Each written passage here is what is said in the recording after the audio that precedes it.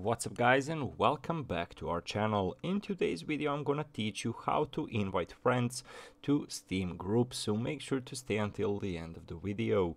But before we move on, it would mean a lot if you subscribe to our channel and hit that notification bell on. So without any further ado, let's jump to the topic. So basically guys, if you did not know, Steam offers you a group uh, options, so maybe a group chat or whatever. So group chat allow you to open chat rooms with more than one person. Once you created a group chat you can save it for the future use along with access to special settings relative to that group how to create it? Well, basically from a lower left side of your friends and chat interface, you can click the plus icon next to your group chats.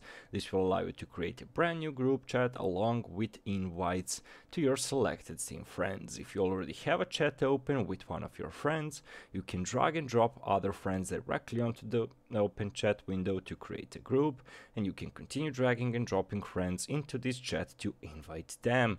If you have a group chat open, you can open uh, the invite window by selecting the plus icon in the upper right hand corner. So uh, basically guys quite an easy way. Uh, basically you just uh, you can either do one of these three ways either on the plus either on the drag draggings or basically just clicking on the plus and creating a new group chat and sending out the invites. So guys quite an easy way. So hopefully this video was helpful to you and as I mentioned earlier, it would mean a lot if you subscribe to our channel and hit that notification bell on.